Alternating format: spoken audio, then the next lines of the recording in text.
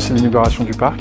On est euh, ici sur différents ateliers, on présente euh, des éléments sur les essais que l'on fait, tout ce qui est agronomique, euh, sur de la fraise, du concombre, de la salade, du jeune plant et de la tomate.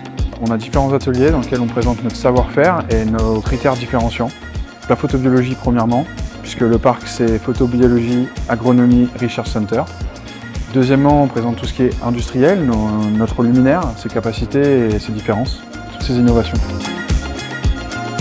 Et puis en troisième lieu, on présente avec quelques ateliers qui sont un peu plus ludiques, euh, des, éléments de formation sur l'aspect lumière euh, et sur l'aspect éclairage.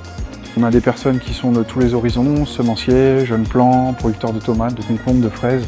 On a des personnes dans la R&D, des personnes dans le vertical farming, donc on a vraiment toute la filière qui est présente et, ça rend ce moment euh, historique pour la société RED, mais aussi pour la filière, c'est le début d'un grand départ. Today here I see a lot of new things and also it's very important for me that I see also the technique aspects. I get today a lot of explanation in how the lamp is built and how the lamp is working. I see more possibilities by using uh, the red lamp. C'est vraiment une aubaine pour les cultures sous serre et notamment euh, pour la fraise euh, en ce qui me concerne. Le parc pourra et va m'apporter, j'en suis persuadé, euh, de nombreuses solutions, notamment en termes de rendement, de qualité de fruits, ce qui aujourd'hui est un enjeu essentiel dans, dans nos productions, et de par la qualité des agronomes qui travaillent pour aide.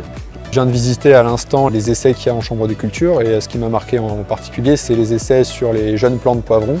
Nous, on fait justement de l'élevage de jeunes plants de poivrons. Et euh, ce que j'ai pu euh, voir, ça va être quelque chose qui va pouvoir être applicable dans nos productions nous, qui vont pouvoir être euh, appliquées à nos recettes lumineuses pour pouvoir modifier et être encore plus optimales pour la croissance de nos plantes. La vision de RED, c'est de positionner la photobiologie comme un élément central dans la production horticole et maraîchère.